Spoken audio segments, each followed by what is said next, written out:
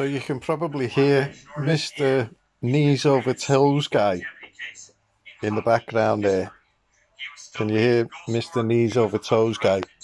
Because this guy, wow, he's really uh, tapped into something. I mean, I've been doing world class sport for since 2000, even even earlier, pretty much. So the thing is,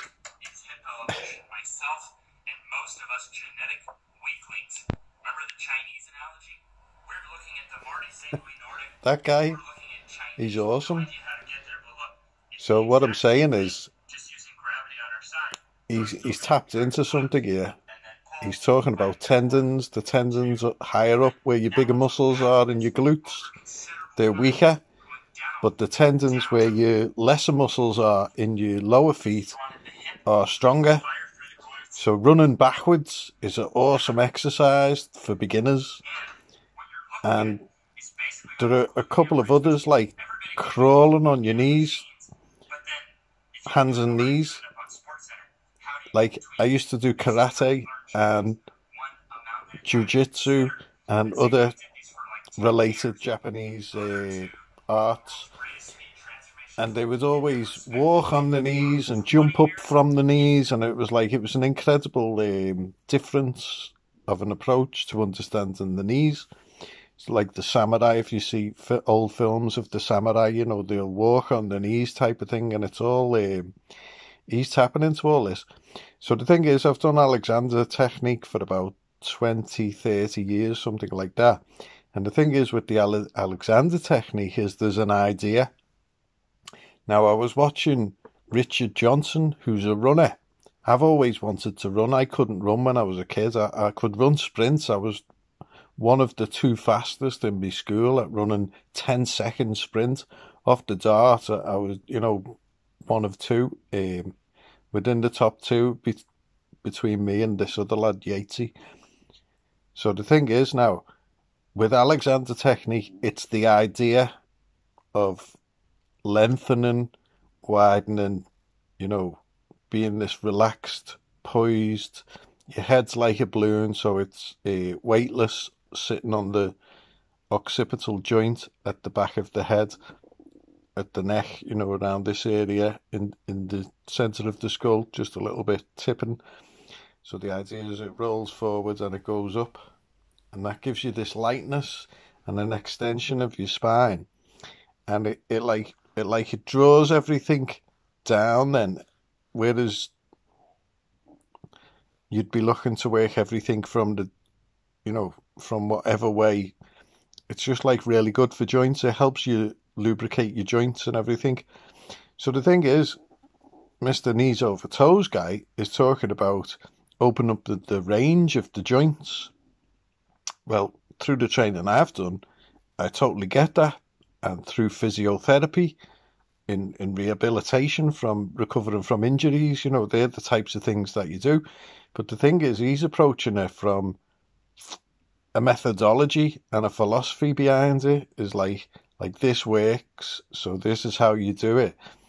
And yeah, it takes 10 minutes or so to go through a few of his videos and work out, well, what is it that he's saying? But once you get it, wow, the, like, this is the bit I'm going to get. So the last video I done, I've got the inflatable up against the door and I'm running back. Well, now I'm sat, but I'm sat with a purpose and I'm sat relaxed and comfortable. My voice is strong. It could be stronger. You know, it's like it's a good resonance. But I've got the idea of this running backwards. After I'd done it, it was the first time I'd done it last night. And it was a total recommendation from Mr. Knees Over Toes guy. You know, kudos. This is the way forward. I'm in rehab from a, a compound tear of me ACL and LCL from running over up and down sand hills, going a bit too mad there. but it's been like over well about eighteen months, sixteen to eighteen months. That's much better. I was going up and down with with recovery use nice and doing various bits and bobs of physio. But I got onto this guy yesterday, watching a Tim Keeley physio thing, and and someone had put in the comments. You know, always read the comments someone says, "Have you seen this? What do you think of this Mister Knees Over Toes guy?" So I, I shot straight to search, had a look, found him, went through it all, and wow, my knees are great.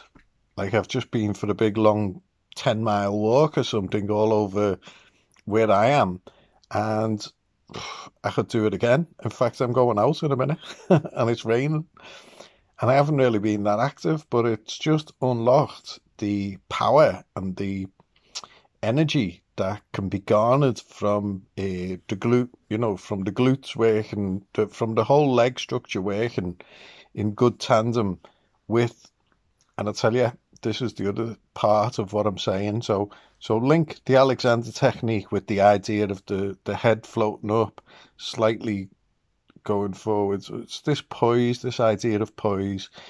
You know, you're lengthening and widening allows your breathing to be continuous and smooth, and you know it's really helpful. A lot of actors and singers use the Alexander technique. Now, apparently, Alexander had problems with his legs, and I've seen other people um, with Alexander technique have sort of problems with the legs, like John Cleese, and who's the other guy? Leslie, Celeste Patterson, Barry, what's his name? So obviously they're older, but they've got problems with the legs. So I was like, I don't want to be like that, you know what I mean? So I've been doing loads of interesting studies on legs, and then I came across this guy. That's why I was into all the physio stuff because I've got this knee, you know, and I don't want this bust knee. Anyway, uh, I think I was trying to jump over some ice, and like my back just went. I was like, "Oh no, what's going on?" So it was like, like it's weird for me because I've always generally got excellent ability like fat or thin, which you know I'll fluctuate a little bit, not too fat. But at this time, just with the day's training on this methodology and using the principles of the Alexander technique, which is the idea.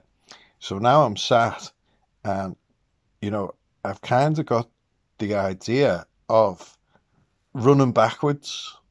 So my legs aren't moving, but I've got the momentum going in that direction with my head floating up. So it just gave me a, a lovely, stable sitting position. And I was like that in bed last night, and I was just like, oh wow, forget that feeling. Just sort of not push back, but allow my body to be going in that direction, and my head floating up.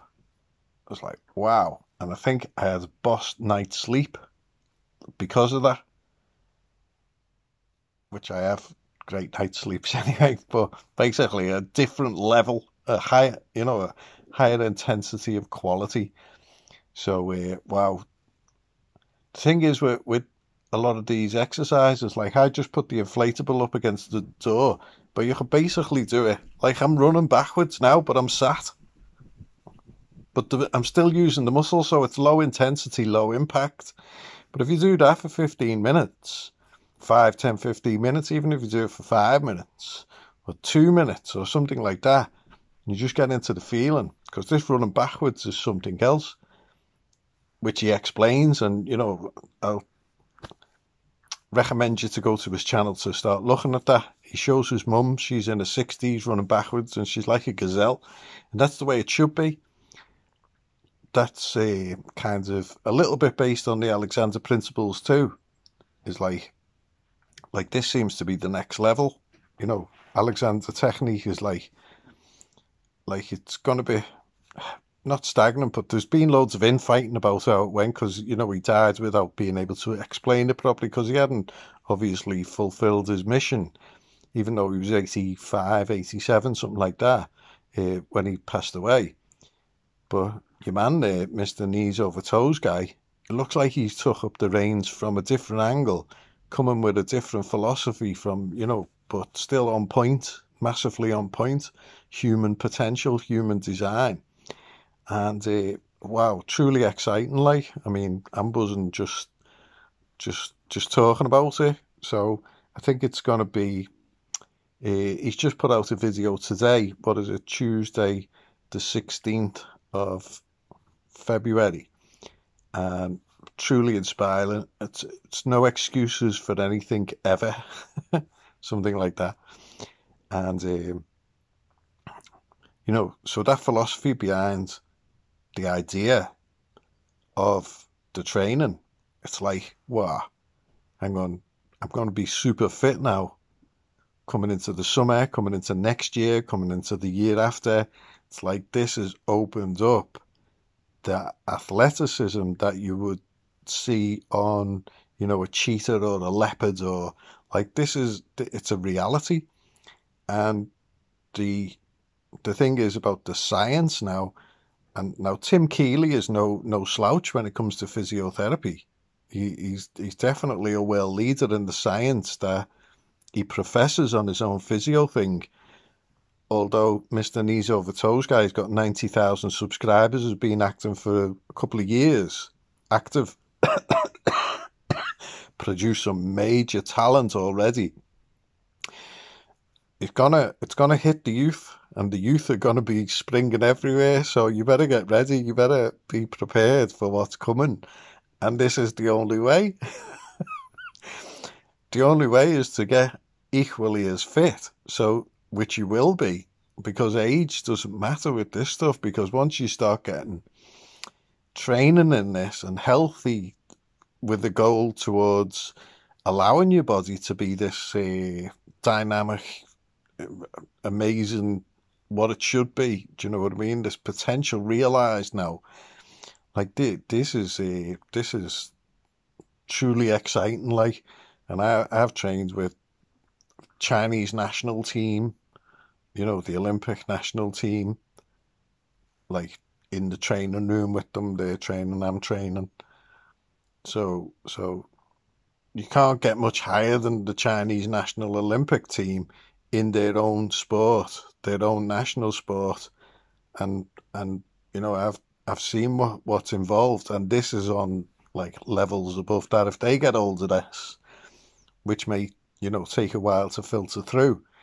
Their levels will, will pop up. The whole world's going to be bouncing just because this fella has done a lot of work because he was basically below par and suffered injuries because of it. So when I was younger, I didn't think I got the, you know, more fitted sports to my game. Like I would have loved to have done skiing, ice hockey, you know, look at the look at the paragliding and stuff like that. there's a multitude of things that everyone would love to do, wouldn't he? You know, water skiing, uh, mountain biking. You know, the, a lot of new sports, snowboarding, the uh, ski jumping. I always wanted to be a ski jumper, and then hot dogging came along where they're doing excellent spins. You know, it's like like the, there's just so much. Uh, like they call them extreme sports, but they shouldn't be that extreme. The parkour, the parkour came along, uh, gymnastics, you know that that's even getting into realms of like no, normal uh, people like doing the crucifix and all stuff like that. This is all going to be totally uh, available. So I made this little dummy running backwards thing because we had ice rain here and it's been like really bad. So that served the purpose. The next one I'm going to do is the Nordic, you know, lifting up backwards. So I've got a, a little step, but I think you could do it off the couch. Just that you need someone to hold your legs and anyway, take a little bit of. But when I'm when I'm done and I've got me set up, which is only going to be just like sawing a piece of wood basically and putting a couple of nails in, I'll be able to have a go at the Nordics. And I used to do them as a kid naturally. Used to put my feet down the back of the couch and like lean off the couch and do them inclined, like off the couch. So the ca- the couch ended there, and used to do them inclines, which I haven't seen uh, a Mr. Knees Over Toes guy do yet. And that's a bit of the message. So if you're watching Mr. Knees Over Toes guy, you know, thumbs up. Have a think about doing it off a ledge and coming up. You know, because that will give you even further leverage. You can just hold it and just start doing isometrics and put weights on, and it's like, wow. You know, there used to be stories, I don't know if everyone knows, but about like the Incas, is it the Aztecs or the Mayas or whatever? Because my old YouTube channel used to be Colo colopathy or colopathy, C O L O, and it was Colo Colo, and he was uh, from Chile. Now, I was reading a book called Cities of Sun, and that talks about like it's a different story about who these Indians may have been, and they may not have been Indians, you know, as you depict them in your mind with this picture in your mind that you have. I'll leave you to find out for yourself on that. But Colo Colo, those people, they could they could just run, run, run, run, run, and I've seen the Maroons actually. The Maroons are the the freed Africans of the Caribbean from Jamaica, and they live up in the mountains in Jamaica, and they were slaves uh, of the Spanish era, which was full of pirates. So you know, I'm not saying that they were Spanish, like under the yoke of the Spanish, but when the British took over Jamaica rather than the Spanish, they emancipated these slaves, so whether it be from the pirates or I don't know how it works, but they still live in the mountains. And if you watch any of the videos, some of them can climb up these like just 90 degree faces with waterfalls coming down and they just zip up them and the big hefty women as well. You know, they're not like uh, little delicate um, athletes like you see in the Olympics or something like that. They, the big burly people and they just spring up them. So it's like like this, it's a matter of mechanics and physics, isn't it? You know, the the correct methodology, especially bolstered with the philosophy that he's bringing of like you know being true to yourself. so it's a it's really exciting, really really exciting. Can't believe I've stumbled across it, and I'll try and put out whatever freaky things that I get up to because I used to do freaky things that I was younger, and I always felt I never got the potential to do it because they used to ban me from uh, gym class because I used to always climb up right up to the ceiling, 30 foot, used to jump off, and I was never allowed to play pirates or I was never allowed to do anything. I got banned from music school after the first lesson, even though I got an A star in the first lesson. So, welcome to my life. And um, so the sky's going to be the limit. It's going to be dead interesting to see if I can do it, putting all the pressure on myself. But that's how I feel about, you know, my body speaking to me, going, "Yeah, this is this is like intuitively." And you look at his videos, you know, he's not he's not copping out, he's not steroided up or not, and he's like hundred percent genuine. I don't know whether he's taking supplements. I don't really care, but um, I've just added ubiquinol, a CoQ10 enzyme. Nice, nice little uh, booster for feeding oxygen. Apparently, it's for men over 30 and for women over 30. It's a really good um, little booster. It's a coenzyme, so it's a, a natural uh, doodah. And uh, yeah, just upped on my vitamins, you know, while it's winter like vitamin D, vitamin C, vitamin B, B6, like B12s, and um, what was the other one? The other one, oh yeah, just to get some tingy into my joints, like some uh, cartilage uh, to feed the cartilage, just some um, glucosamine and chondroitin with MSM, and the MSM helps the blood feed uh, the chondroitin and the glucosamine into the joints. So gives you great buoyancy. Like, you know, when you're lubing up your joints for, like when you're warming up, you know, getting your joints moving and that, that's where you're getting the blood to the joints and then you do your training, bit of a warm down. But it's about getting your blood circulating in the areas that you're uh, concentrating on. So with this stuff, it's all bigger muscles, it's involving bigger muscles, so therefore the bigger blood flow is going to increase, um, you know, healthier blood circulation. It's going to increase, uh, you know, excellent distribution of nutrients.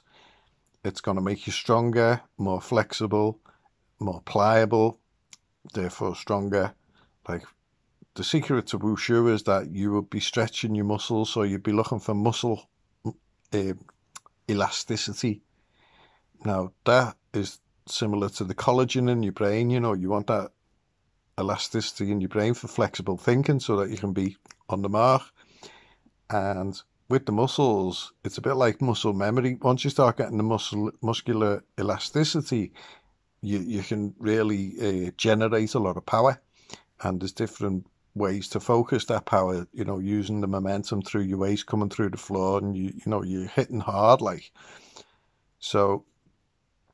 So the power that can be generated now can be harnessed in such a way is that like it's healthy whereby because your knees are now protected because of the methodology that Mr. Knees Over Toes guy is talking about, and you're getting the full ankle uh, range, full shoulder range, you know, protecting elbows. It's like like he's got a full method going on there. That that's very impressive to me. And uh, I'd love to go on his course. I don't know whether I'll be able to, but apparently I've got to get a bank account,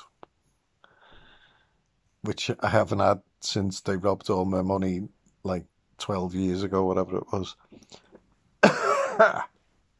like they actually physically robbed it all and were like, oh, we didn't do nothing. You need to phone this company. I was like, no, that's supposed to be my money. Well, there was no protection there. Anyway, um, yeah, so who needs that type of life when you can have a different type of life? Why not have a healthier life? So just this idea. I mean, the thing is, is like, yeah, something can be novel, but from how this guy's talking, it doesn't seem like it's novel. It doesn't seem like it's of a novelty value. And I can understand where he's coming from. And I think that even even if you don't like training and having the discipline to, to keep training, you know, there's definitely exercises that can give you a higher quality of life enhancement. That's what I think it's all about. So psychologically, you know, you can be fine. Physiologically, you can be fine. Physically, you can be fine. All these things, you can be absolutely fine. But where are you going with that? You know, imagine, like, like dream, dream a little bit beyond where your dreams have led you so far. Like dream, dream better dreams that you that you wish for. Because in Alexander Technique, I think it was Walter Carrington who was one of the people who'd been taught as a teacher of Alexander. He talks about fairy tales, and I got this from Jane. Oh, I can't remember her second name, but she's from Yorkshire anyway, North Yorkshire, I think, like Whitby Bay or somewhere and uh, Jane Clapperson, that's her name. She she mentions that, and I recommend her channel, obviously. so um, she recommends that you can have this idea, and this is from Walter Carrington. What you wish for, just leave it latent, and it will develop. So if you've got old bones, old knees, old, you know, you're feeling knackered and that, start to wish for, for something and start watching Mr. Knees Over Toes guy. And true, you won't get those massive change in dynamics from the off, but you will be leading towards that. I think it was Aldous Huxley who started doing Alexander Technique lessons when he was 93. And he fell off a ladder when he was 94. He died, I think, when he was 97. And his daughter said to him, "You know, you, you wouldn't have been on that ladder if you if you hadn't been doing that stupid Alexander technique lessons, because he had a wheelchair or, you know, wasn't quite mobile." And he said, "That's true. I wouldn't have been on that ladder if I hadn't have done Alexander technique lessons." So the introduction of these ideas of health, sport, health stroke sport, you know, getting it into your lifestyle and becoming a more um, has to be said dynamic uh, living person, then it can be of great life enhancement to the quality of everything you do. And you know what can be better than that? I'm getting hungry. I've been eating lots of fruit. Barely eating. I'm not eating meat anymore. The meat's poison. So I've been eating lots of fruit uh, meat, uh, the meat on pineapples. Oh my God, it's amazing. bananas, kiwis, papayas, mangoes, uh, dried raisins, soft apricots. Oh, it's just proper winner winner food it is. So I haven't juiced any of it. I've been eating it. I might start juicing more into the summer. But I've been carefully carefully monitoring it. Now I was taking my vitamins and uh, some whey protein when I was eating meat, which was only a few weeks ago, and I was having a lot of broccolis and cabbage and you know healthy greens.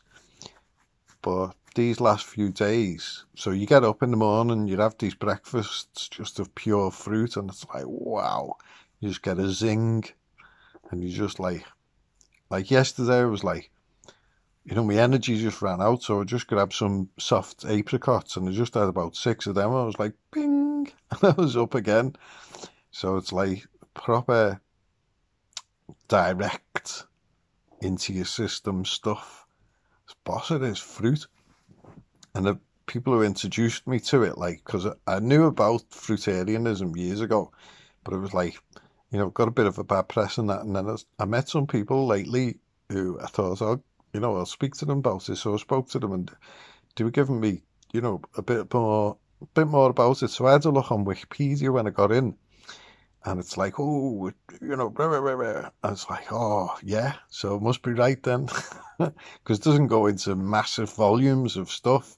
Like I was just talking to these people who who only eat fruit, and they were going into massive volumes of stuff, like like we were talking for a good hour or whatever.